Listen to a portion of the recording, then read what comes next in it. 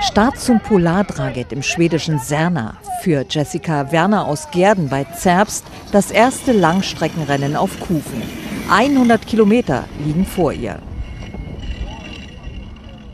Mehrere Wochen lang bereitet sich Jessica in Schweden auf das Rennen vor. Bis jetzt ist sie Sprint gefahren, zu Hause auf Rädern. Vieles ist neu für die Sachsen-Anhalterin und ihre Vierbeiner, vor allem der viele Schnee. Der Weg war etwas verschneit und meine Hunde kennen das ja normalerweise nicht. Dann die ganzen Berge. Ich habe Flachlandhunde, die gerne gerade Strecken laufen und nicht berghoch. Mhm.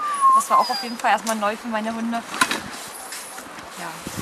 Wir wachsen aber trotzdem irgendwie zusammen.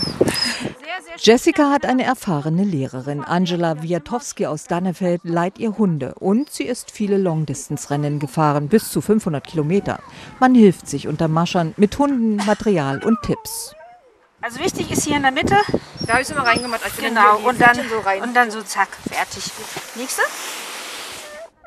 Die Pfoten sind gut gefettet, denn der Schnee ist fest. So langsam steigt das Startfieber auch bei den sechs Vierbeinern. Auf zur Trainingsrunde, die Strecken werden länger. Angela hat einen weiteren Schützling, Kim Falke, auch neu auf der Langstrecke, baut ihren Schlitten zusammen, eine Pulka. Da steht man nicht einfach auf den Kufen.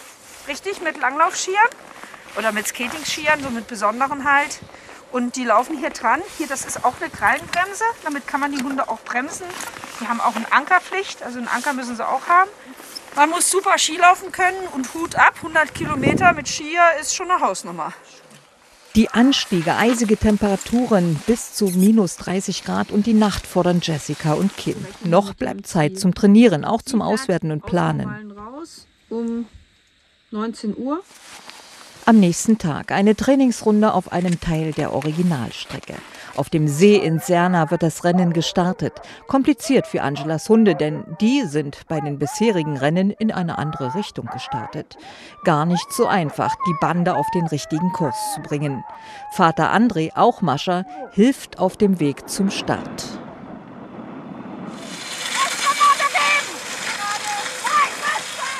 Wenn ich was sage, zum Beispiel Blocken, meine ich natürlich, dass die Hunde nicht mehr in die Richtung abbiegen können. Und das sind so Kleinigkeiten, die man halt lernen muss. Und ich muss natürlich auch geduldiger sein. Ich war natürlich eben auch total gestresst. Also mhm. ist halt so. Weil es halt sehr anstrengend ist. Das ist ja, man ist dann durchgeschwitzt. Ne? Die Hunde sind laut und man versteht sich nicht mehr. Und dann mhm. schreit man da rum und ja, im Grunde genommen bringt es ja eigentlich gar nichts. Man müsste sie ja anders kommunizieren, aber das hat halt jetzt noch nicht geklappt. Da müssen wir halt Abend mal drüber sprechen, wie wir mit Handzeichen dann besser reden können. Ne? Rucksack, Notration, Axt, Spirituskocher. Der Schlitten muss richtig gepackt sein. Auch sowas, ganz ehrlich, willst du dann anfangen, das aus Plastik rauszunehmen? Und wo schmeißt du denn den ganzen Müll hin? Jessica tastet sich an die langen Strecken heran. Die Runden werden ausgedehnter. Es geht auch in die Nacht hinein. Vor zwei Kilometer ich angehalten. Ja, da musst du mal unter den Pfoten gucken. Der harte Schnee ist für die Hunde problematisch. Booties, kleine Schuhe, sollen die Pfoten schonen. So werden also Hunde gebootet. Bei dieser Trainingsfahrt zahlt Jessica Lehrgeld. Sie hat sich verfahren. 14 Kilometer waren es mehr. Es war schon schwierig, aber man versucht es ja doch irgendwie durchzuziehen und kämpft sich dadurch mit den Hunden.